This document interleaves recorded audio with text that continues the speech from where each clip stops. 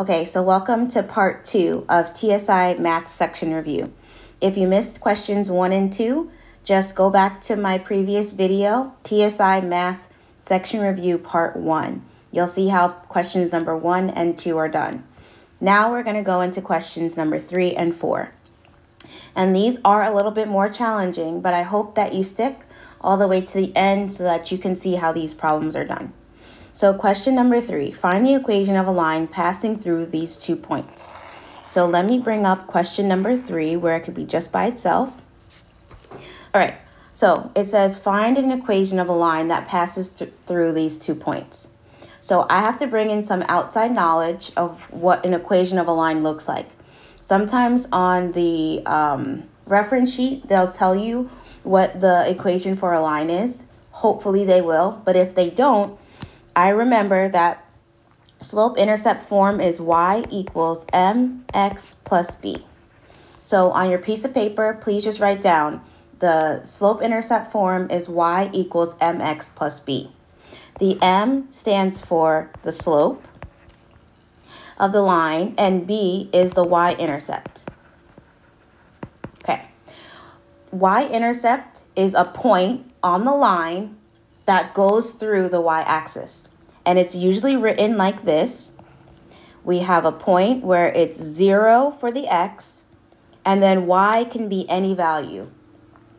So if you look at these two points that they give us, do either of those two points look like they are the y-intercept? If you guess 0, comma 0, then you are correct. In this um, equation, in this line, 0, comma 0 is our y-intercept. So b is going to be equal to 0. So we already figured out one piece of the equation. Now we have to figure out, okay, what is our slope going to be?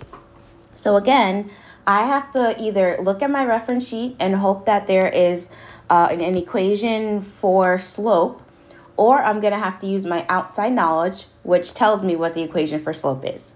So slope, or m, is equal to y2 minus y1 over x2 minus x1. And I hope this isn't the first time you guys are seeing this equation, but if it is, it shouldn't intimidate you. It's very simple. So we have two points. We have 0, comma 0, and we have 6, comma 9. So this point is going to be our 1s, and then this point is going to be our 2s. So this is going to be x1, y1, and then this is going to be x2, y2. Now that we have all of our um, points labeled, we just have to enter it into the equation. So y2 would be 9, and then y1 is 0, so 9 minus 0. then we have x2, which is 6, minus x1, which is 0. So 9 minus 0 is 9, and 6 minus 0 is 6. So our slope is 9 over 6. But this fraction has to be reduced. Anytime you are using an answer, you're getting an answer, and you have a fraction, always make sure that that fraction is all the way reduced. How do we reduce a fraction? Well, we have to find the greatest common factor of 9 and 6. What that means is we have to find the largest number that can go into both 9 and go into 6. And that number is 3. Once we find the greatest common factor, 3, we divide the numerator and the denominator by 3. So 9 divided by 3 is 3. 6 divided by 3 is 2. So our slope is equal to 3 over 2. So I'm going to just put our information that we found. Slope m equals 3 over 2 and then b is equal to 0. Now that we have those two pieces of information, we can go ahead and fill in our equation. So our equation for our line is y equals mx plus b. So we're going to keep the y equals, we now have m, which is 3 half x, plus b, which is 0. We have our equation for our line. Because b is equal to 0, we can just drop that from the equation. There's no need to mention that we're adding 0 at the end if that makes no difference to our answer. So we're going to drop the 0 and we're just going to wait. Right. I got tongue twisted. y equals 3 half x. So that is going to be our equation for our line. So we're going to go up to the problem and see d, y equals 3 half x. So that is our problem number 3. We're going to go into problem number 4 now. And we're going to just take a breather. We're not going to let these letters and numbers and negative numbers confuse us. We're just going to read the problem and we're going to do our best to solve it. So, question number 4 says, there are 3x minus 2 trees planted in each row of a rectangular parcel of land. If there are a total of 24x minus 16 trees planted in the parcel, how many rows of trees are there in the parcel? All right, so it says that it's a rectangle. It's a rectangular parcel of land. We know that 3x minus 2 trees are planted in each row. We don't know how many rows there are, so this information we don't know. But we know that the total amount of trees that fill on the inside of this land is 2x, oh, 24x minus 16. Okay, so if I had a regular rectangle, and I'm just going to give you a for instance, if I had a regular rectangle and I have one side, which is 4, I don't know what the other side is, but I know that the area is 16 and I'm trying to figure out, okay, what is this unknown value? I will just take the area that we have, 16, and I would divide it by 4, and I would get my answer of 4. So, doesn't work out because it's a rectangle, but you guys get the point. It's whatever the area is divided by the one side. So let's go ahead and try to see if we can do the area 24x minus 16 divided by the one side that we have, 3x minus 2. So what I'm going to do is I'm going to just break this in half and I'm going to look at one side at a time. So 24x, 24x divided by 3x is equal to so 24 divided by 3 is 8. And then x divided by x, those x's would cancel each other out. They would be canceled, and I would just be left with 8. Okay, so 24x divided by 3x is 8.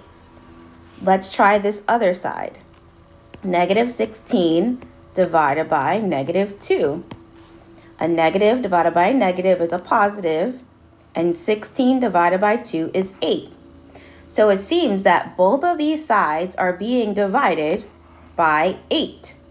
Is 8 an option here? Yes, it is.